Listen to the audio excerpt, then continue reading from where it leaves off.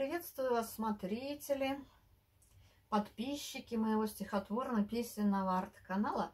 Майта и Мята решила продолжить паутинную тему.